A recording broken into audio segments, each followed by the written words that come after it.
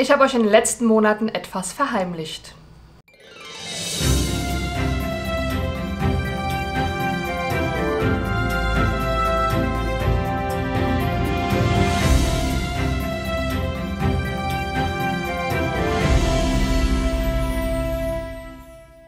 Hallo meine Lieben und schön, dass ihr wieder eingeschaltet habt. Ja, ich weiß gar nicht, wie ich dieses Video starten soll, wo ich anfangen soll, wie ich es verpacken soll. Ähm, ja, mir fällt es tatsächlich auch schwer darüber zu reden und ja, wahrscheinlich werde ich auch mehrere Takes brauchen für die verschiedenen Ansätze und verschiedene Cuts. Also verzeiht mir, dass vielleicht ein bisschen mehr Cuts in diesem Video sind. Aber wie gesagt, ich möchte es gut verpacken und rüberbringen, ähm, aber auch nicht zu viel auf dieses, was passiert ist vor drei Monaten. Ähm, ja, möchte ich jetzt auch nicht zu krass eingehen, weil es doch sehr privat war. Aber ja, ja, jetzt rede ich um den heißen Brei. Ich sag's jetzt einfach. Also ich weiß nicht, wie viel der, viel, der wievielte Take das ist, weil ah, ich denke mir immer, oh ne, das kannst du nicht so sagen. Ich habe auch Nervennahrung hier, Erdbeeren mit Honig. Oh, es fällt mir so schwer. Also, mir ist etwas vor drei Monaten widerfahren, ähm, was ich so in meinem Leben noch nicht erfahren musste und ähm, ja, aber es jedem passieren kann. Und ja, ich bin vor drei Monaten arbeitssuchend geworden. Genau, jetzt ist es raus. Ihr wisst, dass ich ja im Dezember in die Schweiz gekommen bin. Und man kann ja nur in die Schweiz kommen mit einem neuen Job oder mit einem Job. Und ja, nach, nach zwei Monaten während der Probezeit, dafür ist die Probezeit ja auch da, hat sich halt herauskristallisiert von beiden Parteien, dass es einfach nicht passt. Ich werde auch nicht näher darauf eingehen, wieso, weshalb, warum. Ähm, es ist einfach so gekommen und ich war fein damit und ähm, ja, dementsprechend, ja, seit Anfang Februar, seit 1. Februar war ich dann arbeitssuchend hier in der Schweiz. Ja, die Betonung liegt auf wahr, denn ja, ich bin eben nach Hause gekommen und jetzt ist es offiziell, ich habe meinen neuen Arbeitsvertrag unterschrieben, auch hier in der Schweiz, aber dazu kommen wir dann später. Ähm, ja, wie gesagt, ich war drei Monate arbeitssuchend in der Schweiz und ähm, ihr werdet wahrscheinlich viele Fragen haben. Ich werde in den nächsten Tagen auch ein QA auf Instagram starten. Und ähm, da könnt ihr mir gerne Fragen stellen, die jetzt nicht zu persönlich sind, äh, bezüglich was, was in der alten Stelle passiert ist oder was die neue Stelle betrifft. Ähm, denn ich werde in Zukunft auch das ganze Thema Arbeit hier nicht ganz so krass thematisieren, wie es vielleicht vorher mal war. Ähm, das hat auch seine Gründe, dazu komme ich auch gleich. Ähm, wie, wie ist es mir ergangen in den letzten drei Monaten? Wie gesagt, es ist, fällt mir sehr schwer darüber zu sprechen. Ähm, ich habe natürlich finanzielle Unterstützung vom, ähm, von der Schweiz hier bereits bekommen. Also ich war Arbeitslosengeld, ähm, durfte ich bekommen sozusagen, wenn man das so ausdrücken kann. Und das äh, liegt daran, dass die Schweiz mit Europa ein Abkommen hat und dementsprechend war ich ähm, finanziell ja, schon etwas abgesichert und darüber bin ich sehr, sehr dankbar. Und natürlich wussten es auch meine, ähm, meine engere Familie, mein Freund und auch meine engsten Freunde, wussten natürlich von meiner Situation. Ich habe es denen auch ähm, ja, mit sehr relativ schnell erzählt und habe von denen auch ähm, eine tolle Unterstützung bekommen. Also ja, da kann ich sagen, ich habe wirklich ganz, ganz tolle Freunde und auch Familie und mein Freund, ja, haben mich alle ähm, mental unterstützt und äh, mich durch die Zeit gebracht. Aber in solchen Situationen merkt man auch, ähm, welche Freunde wirklich für einen da sind und welche vielleicht nur, wie soll ich das jetzt nett ausdrücken? So, ja, naja, kann, also es gibt Freunde, die sind, äh, die sind für einen da und unterstützen einen in solchen Situationen. Und es gibt dann Freunde, wo man dann merkt, nee, das ist dann doch nicht so das Wahre. Ne? Werde ich auch nicht darauf eingehen, aber solche Situationen sind mal ganz gut, um ja, Freundschaften ähm, zu stärken und zu festigen oder halt dementsprechend ähm, auflösen zu lassen. ja, vielleicht ist dem einen oder anderen tatsächlich auch sowas aufgefallen oder hat sowas vermutet, denn auf Social Media habe ich ja über das Thema gar nicht mehr gesprochen, über das Thema Arbeit, dass ich von der Arbeit zur Arbeit gehe oder von der Arbeit komme. Deswegen ist es vielleicht dem einen oder anderen aufgefallen oder hat es vermutet, dass da irgendwas nicht stimmt. Ähm, ja, ich war natürlich auf AIDA, aber den, den Urlaub hatten wir tatsächlich schon gebucht, als ich noch gearbeitet habe. Ähm, deswegen, ja, aber es haben auch andere geschrieben, ja, schon wie im Disneyland unter der Woche, so viele Urlaubstage in der Schweiz. Da schließt sich der Kreis, aber äh, ich werde trotzdem auch zum 12. April nach Disneyland gefahren, hätte mir freigenommen. Also so ist es nicht. Klar, man hat äh, nur 25 Urlaubstage in der Schweiz, die man sich gut einteilen muss.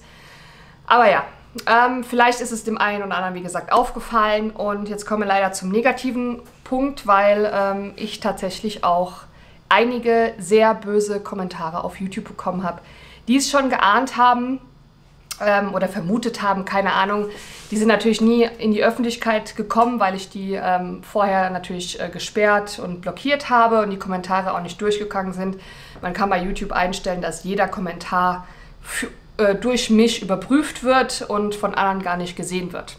Und seit die, es waren tatsächlich nicht nur ein Kommentar, es waren mehrere Kommentare von verschiedenen Accounts, die ich dann immer wieder blockiert habe. Aber naja, auf jeden Fall geht kein Kommentar durch, ähm, der nicht von mir überprüft wird. Und ähm, ich weiß natürlich, wenn jetzt wieder einige Daumen nach unten kommen und auch wieder blöde Kommentare. Das ist leider der Nachteil bei Social Media, äh, wenn man immer mehr in der Öffentlichkeit steht auf Social Media.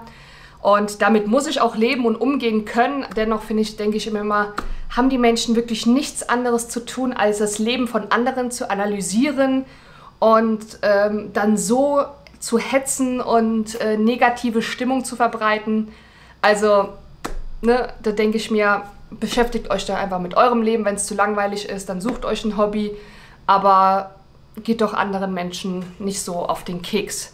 Naja, aber es wird immer so Menschen geben, leider auf Social Media, die einen so runtermachen wollen und negative Kommentare ver äh, ver verbreiten.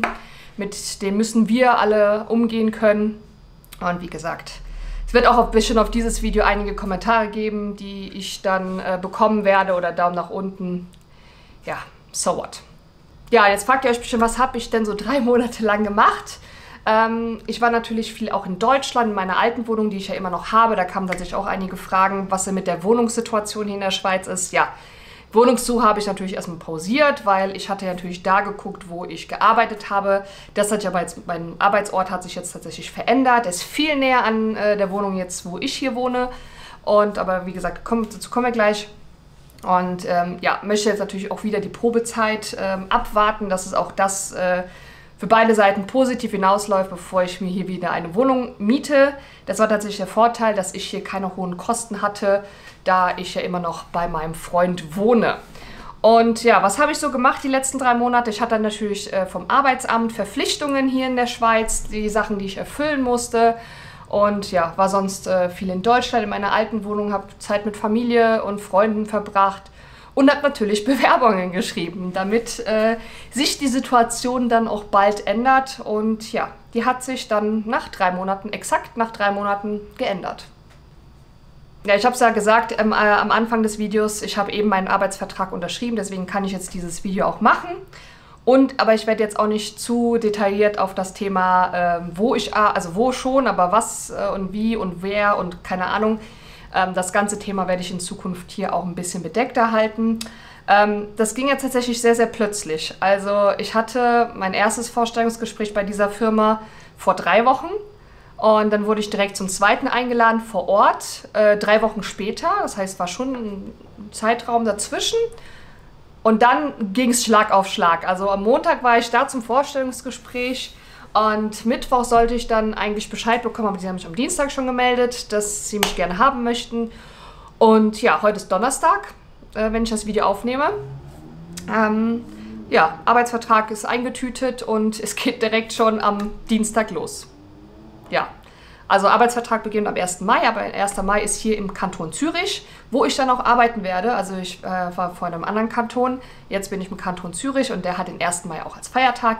Das heißt, 1. Mai bin ich eh noch in Zermatt mit meinem Freund. Äh, also wenn ihr das Video seht, sind wir, glaube ich, gerade auf dem Rückweg oder sind schon zu Hause. Mal gucken. ähm, genau, da ist hier noch Feiertag. Das heißt, mein erster Arbeitstag wird der 2. Mai sein. Also der Dienstag und wie gesagt, ähm, dass es jetzt so schnell ging, hätte ich jetzt auch nicht gedacht und ähm, das ist tatsächlich noch ein bisschen surreal für mich. Also dass ich von einer Woche auf die andere dann wieder arbeiten gehe. Äh, regulierte Aufstehzeiten, Arbeitszeiten. Äh, man hat sich dann tatsächlich an das Leben schon so ein bisschen gewöhnt, die drei Monate, muss ich ehrlich zugeben. Ähm, klar, irgendwann, äh, irgendwann wurde es ein bisschen so zwischendurch mal so, mein Freund wollte mich schon rausschicken, so, oh, mach was, du kannst nicht zu Hause sitzen, du bist kein Mensch für, bin ich auch nicht, der die ganze Zeit zu Hause sitzt und vorm Fernseher und irgendwann versacke ich dann und dann werde ich, oh, kriege ich auch tatsächlich schlechte Laune und so. Also ich bin tatsächlich ein Mensch, der raus muss. Und äh, mein Freund wollte mich schon irgendwo hinschicken und dass ich einen zweiten YouTube-Kanal eröffne auf Englisch, die irgendwie die Städte in, in, der Schweiz bereist. Also der hatte schon wild, die wildesten Ideen, um halt mich bei Laune sozusagen zu halten, weil ja, das ist tatsächlich nicht so meins. Ähm, ich hätte natürlich jetzt auch alle möglichen Freizeitparks besuchen können der Welt, aber erstens braucht man das Geld dafür und zweitens hätte ich dann vorher schon mit der Sprache rausrücken müssen, sonst wäre es natürlich sehr offensichtlich gewesen. Ja, also das waren so die letzten drei Monate, ähm, habe ich wirklich genossen. Also man kann nicht anders sagen, war schon äh, sehr entspannt und ähm, ja, hat mir tatsächlich auch sehr gut getan. Ja, ich bin tatsächlich auch froh, jetzt mit der Sprache rausrücken zu können. Ähm, ich hatte auch am Anfang überlegt, sagst es direkt, vielleicht interessiert sie einen oder anderen, wie es ist, arbeitslos in der Schweiz zu sein. Ähm, das könnt ihr mir ja immer noch jetzt Fragen stellen. Wie gesagt, ich mache ein QA auf Instagram könnt ihr mir gerne eure Fragen stellen. Wie gesagt, wenn es nicht zu detailliert ist, dann, ähm, dann beantworte ich sie natürlich in dem QA und ihr könnt mir auch generelle Fragen dann stellen. Das haben wir nämlich lange nicht mehr gemacht. Ich habe noch gar nicht gesagt, was ich mache. Ich habe nur gesagt, am 1. Mai habe ich meinen Arbeitsvertrag. Also wie gesagt, ich werde nicht zu genau, zu detailliert drauf eingehen. Ich bin dann ab 1. Mai Business Analyst bei einer Firma, die am Flughafen Zürich arbeitet. Mehr werde ich dazu nicht sagen, nicht welche Firma. Ähm, am Flughafen sind natürlich mehrere Firmen und deswegen kann ich es so breit gefächert halten und auch die Stelle ist jetzt ähm, ja, nicht zu detailliert ausgesprochen. Also wie gesagt, ich werde jeden Tag zum Flughafen fahren. Das freut mich nämlich sehr, denn hier von der Wohnung von meinem Freund ist es tatsächlich nur ähm, fünf Minuten mit der S-Bahn und ja knapp 15 Minuten mit der Tram, also mit der oberen, ja, die heißt hier halt Tram, fährt ein bisschen langsamer und ähm, habe einen kürzeren Arbeitsweg, was mich wirklich sehr freut ähm, und muss nicht ständig mit dem Auto irgendwo hinfahren und im Stau stehen. Ähm, das war tatsächlich auch mal bei dem vorigen Job immer sehr, sehr anstrengend, abends äh, im Stau nach Zürich reinzustehen. Das wird jetzt auf jeden Fall gemütlicher. Die Tram fährt alle sieben Minuten, hier fast vor meiner Haustür. Und äh, ja, eigentlich sehr entspannt. Und ja, ich bin, ich freue mich auf den Start nächste Woche und jetzt ist es raus, jetzt habe ich es gesagt und ähm, ja, bin gespannt. Ihr werdet eure Meinung bestimmt auch unten in die Kommentare schreiben. Wie gesagt, ähm, wenn es zu beleidigen wird, dann könnt ihr euch das auch sparen. Ansonsten, ja, bin mal gespannt, was ihr so über, darüber sagt, ob ihr es geahnt habt oder, oder nicht. Ja, ansonsten glaube ich, habe ich nicht mehr viel zu erzählen. Ich kann noch ein bisschen über die Planung äh, über den Mai jetzt erzählen, weil ähm, ich hatte tatsächlich ein bisschen was anderes geplant ähm, im Mai, also ein bisschen was anderes. Ansonsten, ähm, ja, aber ich muss mein Handy dafür, mein Kalender. Äh, aus dem Stegreif kann ich das nicht so sagen. Ja, ihr merkt, ich bin auch so ein bisschen durch den Wind. Äh, es ging jetzt alles so schnell in den letzten Tagen und ähm, ich brauche noch ein bisschen Zeit, das tatsächlich zu verarbeiten. Ich freue mich auf das Wochenende jetzt mit meinem Freund ähm, in Zermatt.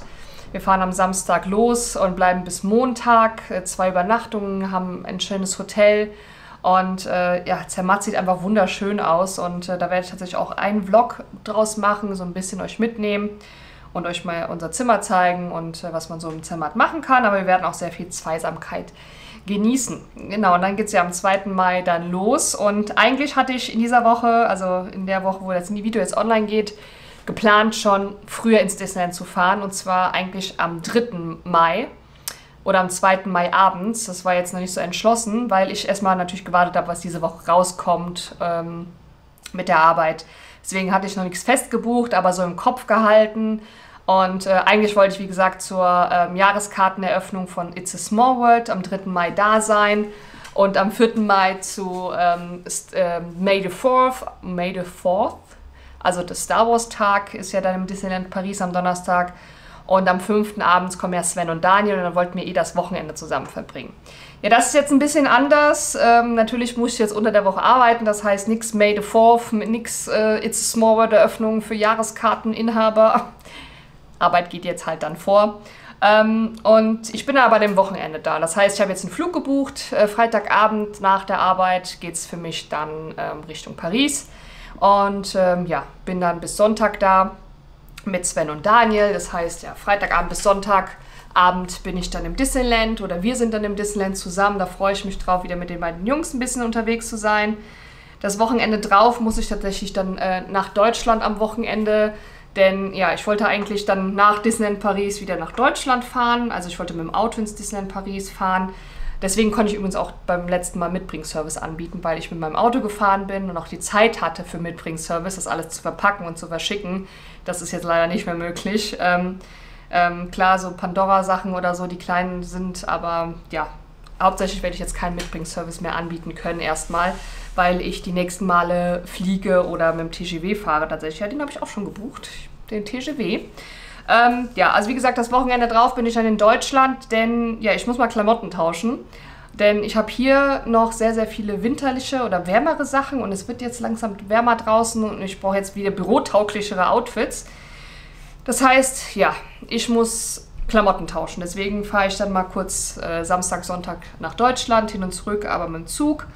Und ähm, ja, 14. ist auch Muttertag und ähm, ja, meiner Mama ist das immer an solchen Tagen wichtig, dass ich da bin und deswegen ja, bin ich dann kurz mal in Deutschland Klamotten tauschen, Koffer mal kurz wechseln und ähm, ja, und dann ist tatsächlich schon auch wieder eine kurze Woche auch bei uns, denn wir haben auch Christi Himmelfahrt hier in der Schweiz und da habe ich es ja schon angeteasert und jetzt komm, jetzt können wir es auch einfach sagen. Ähm, ich bin mit Brina unterwegs das Wochenende und wir machen eine Bayern-Tour. Und wir haben ganz, ganz tolle Parks und Sachen, die wir ähm, erleben werden, so kann man das so sagen, die wir geplant haben. Und zwar starten wir an Christi Himmelfahrt selbst im Bayernpark. In dem Park war ich noch nicht. Das heißt, am 18. werden wir im Bayernpark sein. Am 19. sind wir in der Therme Erding. Und am 20. und am 21. werden wir das Legoland besuchen. Ja, da freue ich mich sehr, war ich ja auch noch nie im Legoland. Therme Erding war ich ja schon mal an Weihnachten mit meinen Eltern, das hat mir so gut gefallen. Und Brina war tatsächlich auch noch nicht da und deswegen dachte mir, Therme Erding ist super. Und ich kann mal den Außenbereich sehen. Ich hoffe nur, dass die Temperaturen dann stimmen bis dahin. Ne? Ähm, und ja, Legoland, ähm, ich bin ja, wir waren ja tatsächlich auch eingeladen für Stefans Event, wo Daniel ja jetzt auch da war. Ähm, werden wir auch da sein, hätten wir da sein können. Aber wir hatten natürlich schon München gebucht mit Tickets und ja, das war leider vorher schon gebucht, deswegen mussten wir Stefan da leider absagen. Aber dennoch können wir das Legoland trotzdem noch im Mai besuchen und ich bin sehr gespannt. Wir übernachten auch in einem Legoland-Hotel. Ja. Und äh, genau, und darauf das Wochenende ist dann auch wieder Paris, aber fast, fast gar kein Disneyland Paris tatsächlich. Ähm, ich glaube, da verrate ich jetzt noch nicht so viel. Da könnt, könnt ihr euch noch ein bisschen überraschen lassen. Wie gesagt, es wird wieder Paris, aber nicht ganz so viel Disneyland. Also eigentlich nur ein Tag Disneyland. Und der Rest, lasst euch überraschen. und ja, und dann im Juni geht es auch wieder weiter. Wir haben also so viel geplant äh, bis in den Juni rein. Ähm, zur Pride bin ich jetzt äh, auch dann da mit Prina. Da, dort gehen wir dann mit den Prinzessinnen frühstücken. Äh, danke an eine liebe Followerin, die uns das ermöglicht hat. Ähm, Nochmal an der Stelle. Ähm, ja, also es ist viel geplant in den nächsten Monaten. Ähm, freie Wochenenden habe ich jetzt aktuell nicht so viele. Vielleicht muss ich mir mal wieder ein paar freischaufeln, jetzt wo ich wieder arbeiten muss. Ähm, brauche ich vielleicht ein paar entspanntere Wochenenden, weil wenn ich unter der Woche zu Hause war, dann äh, wollte ich am Wochenende halt irgendwas unternehmen und raus, weil am Wochenende immer noch zu Hause sitzen, das ging ja für mich dann gar nicht. Deswegen, ja. Aber jetzt geht die, jetzt geht das harte Leben wieder los. Und, aber ich freue mich drauf. Also es wird sehr, ähm, sehr spannend werden. Ähm, ich mag die Firma, ich mag, dass ich äh, direkt am Flughafen wieder bin. Ich werde jeden Tag so viele Flugzeuge aus meinem Büro sehen können. Und ähm, ja, ich bin, ich liebe ja die Aviation-Branche und äh, freue mich dann da wieder äh, zurück äh, in dieser Branche arbeiten zu dürfen. Ja, und das war's, dieses komische, verrückte Enthüllungsvideo, sage ich mal, das war's. Und ähm, ja, ich hoffe, es hat euch gefallen. Wenn es euch gefallen hat, lasst bitte einen Daumen nach oben da, abonniert den Kanal, drückt auf die Glocke und dann sehen wir uns ganz bald wieder, spätestens im Disneyland Paris.